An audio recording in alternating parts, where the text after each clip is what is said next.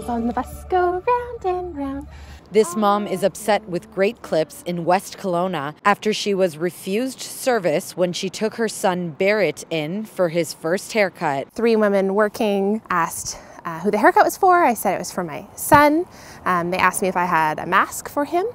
Um, I responded that he was under a year old and uh, they said he needed to be wearing a mask to be in the business. Children under the age of two are not required by law to wear masks. In fact, it's not recommended. It's a safety hazard that could lead to choking, suffocation, and cause them to touch their face more, increasing the risk of COVID 19 transmission. I was very much looking forward to putting his lock of hair in his baby book, and uh, it was very confrontational and uh, very negative and really put a damper on the whole experience. I don't even think they said sorry. I've tried to contact the owner, contacted head office, and um, my calls have not been returned. Employers have a duty to accommodate customers and workers who are unable to wear a mask for medical reasons.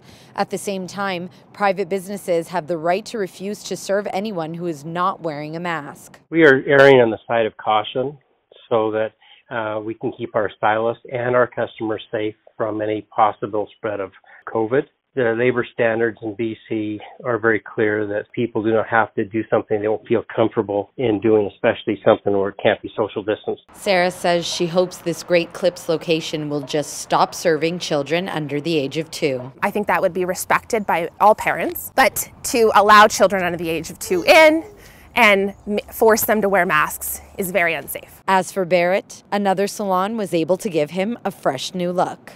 For Castanet News, I'm Amandalina Letterio.